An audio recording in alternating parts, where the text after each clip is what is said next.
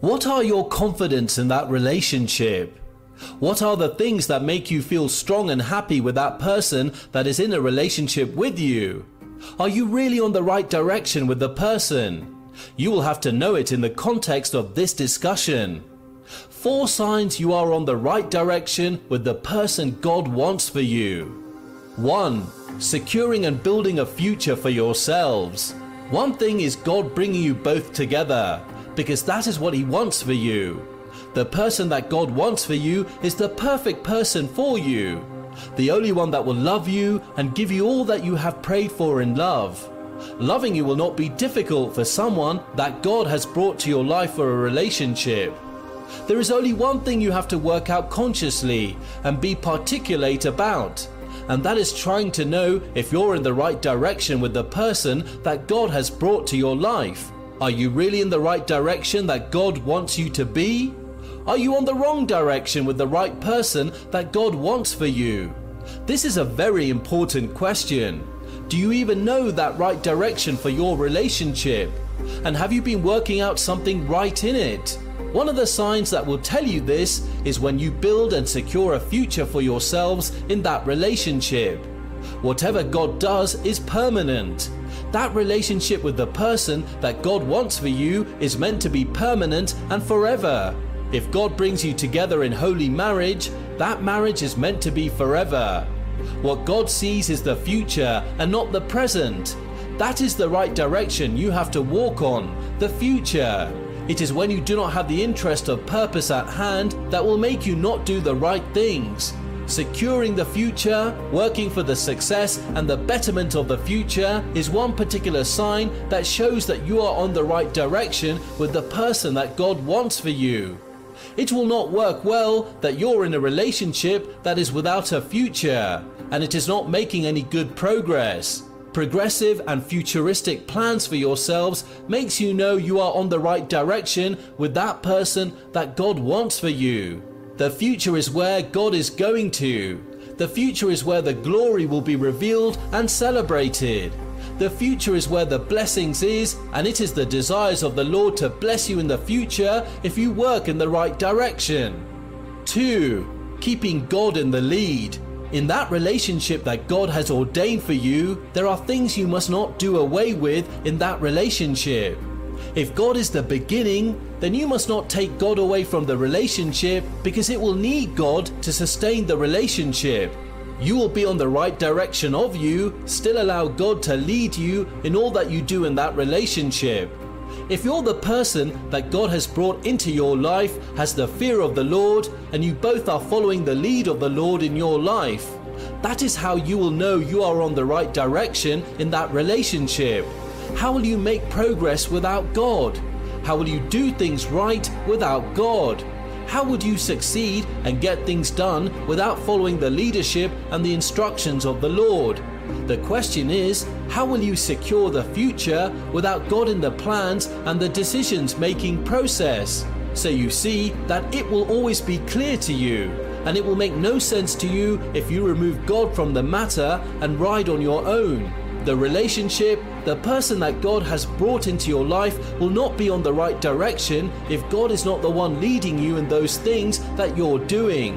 Following God is one essential thing to do in life. Taking instructions from God is one proper will that will help you build the right relationship with God because trusting God entails obeying and doing the will of God every time and every day of your life. You will not have any reason to fear or to shake if you know and you are sure that you and the person that God has brought into your life are following the lead and the instructions of God in keeping and moving the relationship to where God wants it to be. And the purpose must be known clearly that God has a reason for bringing you together. And that reason and purpose must be the focus for that relationship and marriage as it may be. God has not led anyone into error before. God has not made anyone got the wrong way before. When you want to keep your relationship with the person that God wants for you on the right direction, then you have to follow the lead of the Lord. That future that you're pressing into with faith and focus Do you really understand the purpose of your pursuit? That is one particular understanding that you must have in you to help you know where you and the person that God wants for you are heading to. 3. Happy together. Do you know that everyone that is created by God could stay alone without stress and still get their lives done? But there is always a reason for making them in two different gender. There is reason for companionship there is reason for being with someone that you love and the person that God wants for you because the goal is happiness. There is a level of happiness that you can achieve alone when you're all by yourself. And there are happiness that comes to your life when you have someone that loves you around you. When you have someone that cares and gives you the reason to live and reasons to smile away. That happiness goes beyond what you can give to yourself as a person.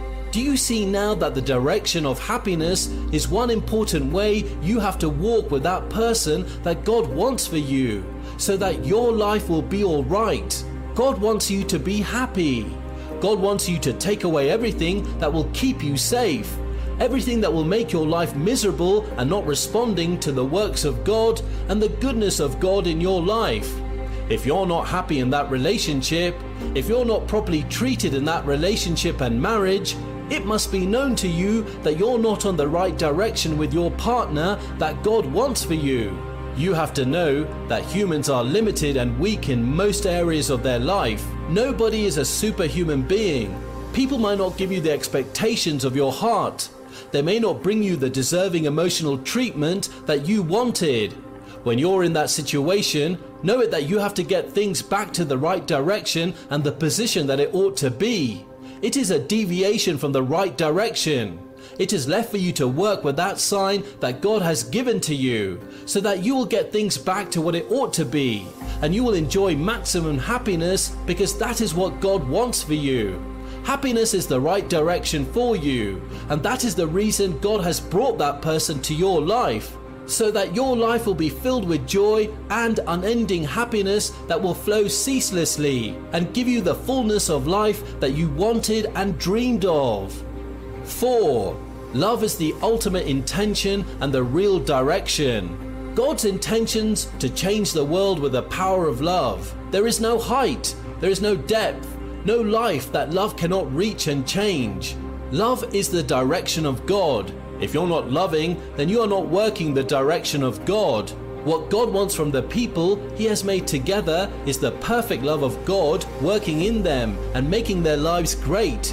If the person that God has brought to you is not loving you the way it ought to, if there is no love in that relationship, then you have to know that it is a sign that you're not in the right direction, and you have to do everything to reawaken love in it. Love is the weapon with which God wants us to bring the world that the devil has destroyed together. God is projecting love in lives so that everyone will live in love with one another and the peace that will be generated will be sustained to keep lives. If the person that God wants for you is not loving you, then you have to know it that you and the person you're not working in the right direction with God. Walking in the path of love is walking in the direction of God. When love is involved in the relationship, it is a sign that you and the person that God wants for you, you are on the right direction that God wants for you because with love there will be God and godliness. And when there is God in that relationship, you will see it clearly that everything is possibly going to lead into the will and the accomplishment of the purpose of God for your life, and you will live a happy and fulfilled love life.